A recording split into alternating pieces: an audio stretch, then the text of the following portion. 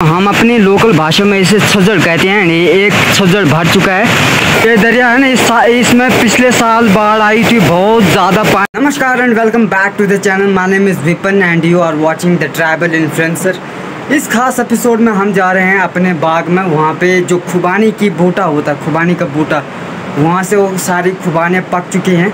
Otherwise हमको उस, उनको निकालना पड़ेगा। अदरवाइज़ जो यहाँ के लोकल जो बच्चे हैं वो क्या कर रहे, वो क्या कर रहे हैं कि वहाँ पे नीचे जा रहे हैं, खुबानी पे चढ़ने वो सारी खुबानियाँ गायब हो रही हैं। तो इसके लिए हम जा रहे हैं अभी अपने खेत में, वहाँ से सारी खुबानियाँ निकाल लेंगे। एंड ये है वो कंटेनर जहाँ से, जिसमें ये सारी खुबानियाँ पिक की जाएँगी।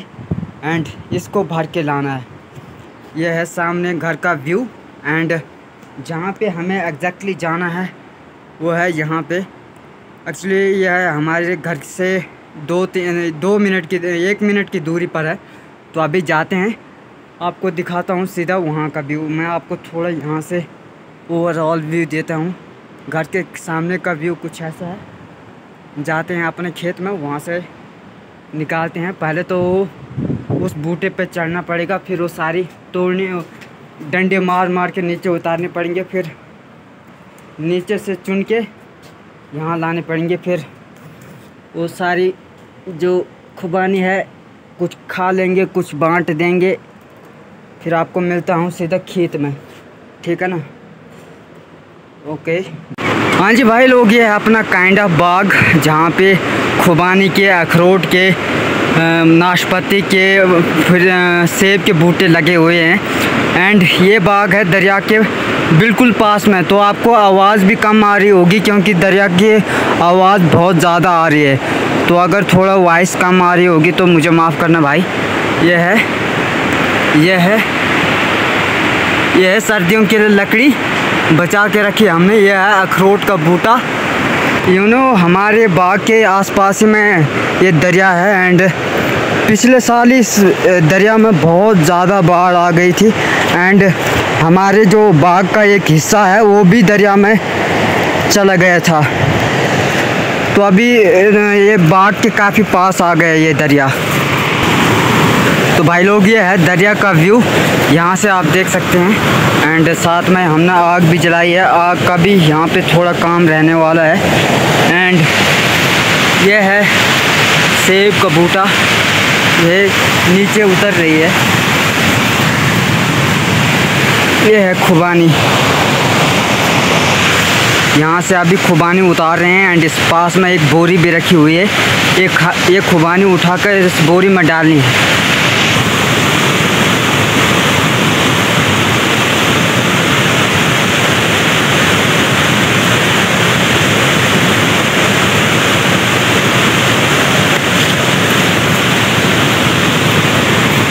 ये तो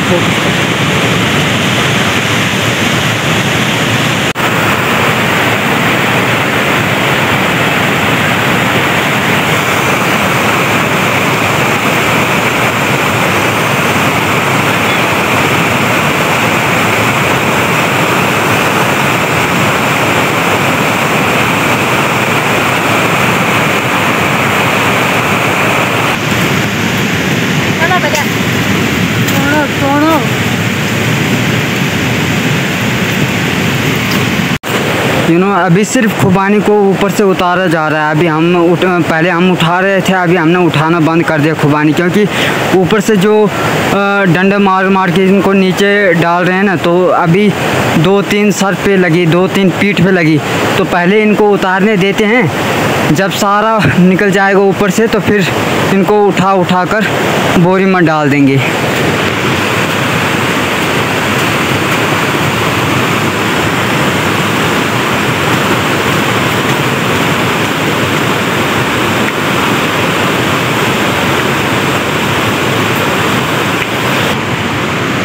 यू नो खेत के पास दरिया होने का ये फ़ायदा, ये भी फ़ायदा फ़ायदा भी है और नुकसान भी है। फ़ायदा ये है कि जब दरिया में बहुत ज़्यादा पानी आ जाता है तो ऊपर से लकड़ी आ जाती है।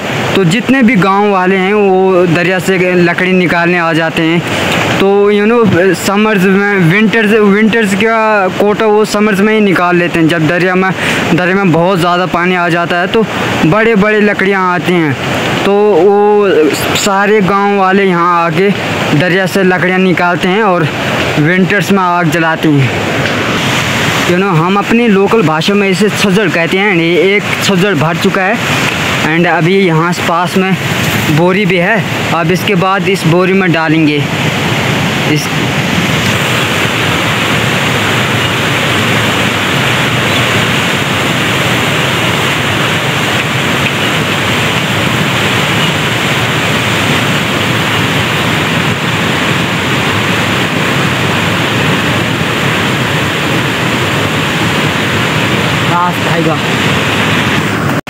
ये आधी बोरी अभी तक भर चुकी है।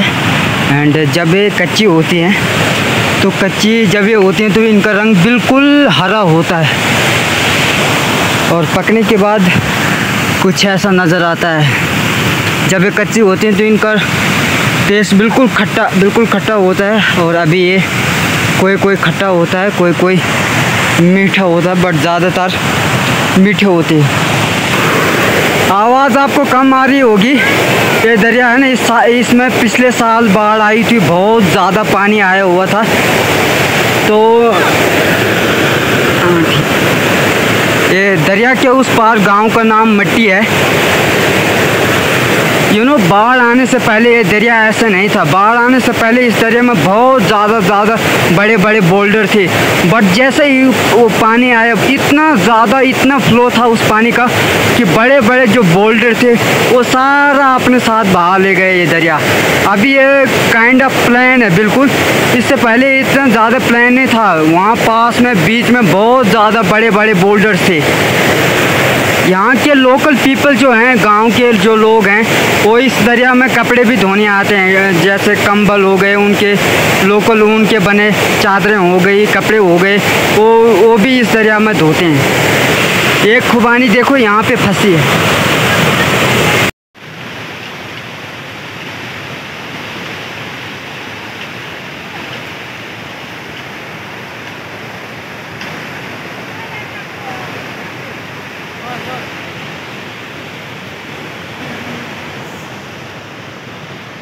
खुबानी को बहुत ज़्यादा बहुत ज़्यादा तो नहीं वैसे जल्दी उतार रहे हैं क्योंकि जल्दी उतारने का रीज़न ये है कि अगर थोड़ा देर से उतारा तो ये सारा चोरी करके ले जाएँगे। इसलिए जल्दी उतार रहे हैं थोड़ा सा उतार रहे थे तो डंडे से मार रहे थे तो डंडे से पूरा हिस्सा नीचे आ गया। देख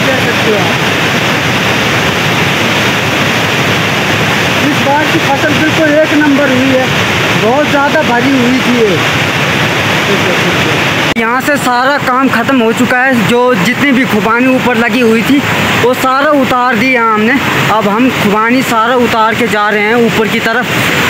काइंड ऑफ़ एक बोरी भर के खुबानी निकली है। अब कुछ हम खुद खा लेंगे, कुछ अपने रिश्तेदार, मामा, मामी को सारे सबको बांट देंगे।